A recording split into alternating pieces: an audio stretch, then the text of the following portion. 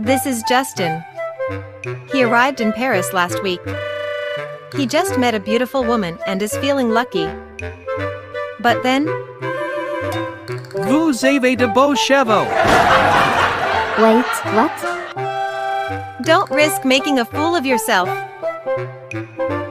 Learn French.